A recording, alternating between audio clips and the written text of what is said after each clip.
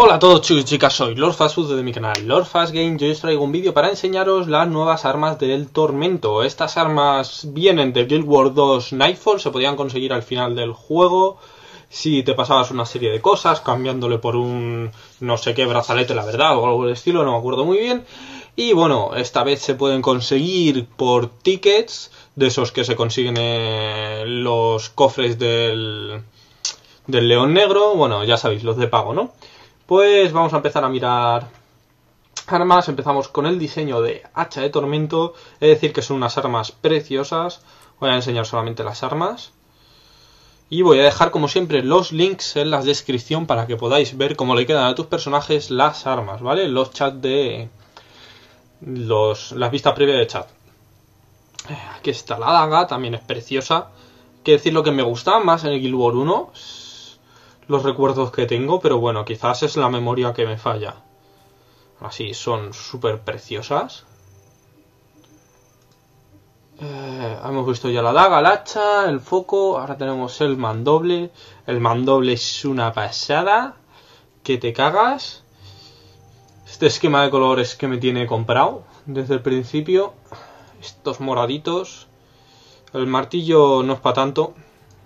Que tiene la parte que golpea tiene una máscara de Margonita, que bueno, eran los enemigos contra los que tenías que enfrentarte en el Guild Wars Nightfall, en esa parte de la historia, digamos, del final. Aquí tenemos el arco largo del tormento, no es para nada feo, pero tampoco es una locura. Pero bueno, es que de los arcos largos tampoco hay muchos que me gusten. Aquí tenemos la maza, que es algo rara. por no sé cómo llamarla. Es bonita, pero es rara de cojones. Eh, la pistola. Estos son inventados porque no había pistolas en el War 1.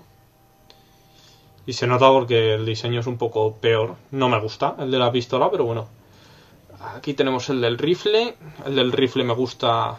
Tampoco me gusta. el cetro.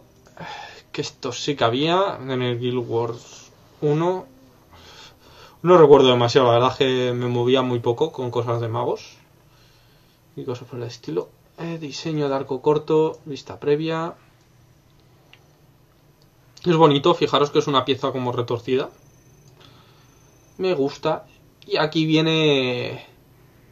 Eh, vale, ¿qué he hecho? Arco corto y me ha soltado el escudo, el diseño escudo. Para mí el punto fuerte eh, es el escudo. Era el que yo llevaba en el Guild Wars 1 con mi Paragón y era una puta pasada y sigue siendo una puñetera pasada y siguen entrando ganas de gastarte el dinero para conseguir tickets para conseguirlo, pero no.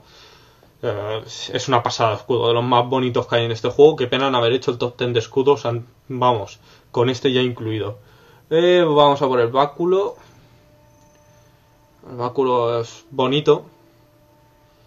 No está mal. La espada del tormento. Ya veis, con, con la iluminación de por medio. Antorcha del tormento, pues bueno, antorchas tampoco había, así que el diseño es inventado, no es feo. Cuerno de guerra del tormento. Pues lo veis aquí en chiquitito, a ver un momentito. Ahí que lo pongo grande. está chulo, bastante chulo. El tridente el tridente me gusta muchísimo, me encanta este tridente. Fijaros qué bien pensado que está. Me encanta, me parece precioso. Lanza... A ver, que se me ha quedado chiquitito. La lanza sí que creo que es como la del Guild War 1, aunque no era muy muy vistosa. Muy vistosa. Bueno, no me acuerdo muy muy bien. Y por último el diseño de cañón de del tormento. Pues muy parecido, es una combinación del rifle y de la lanza.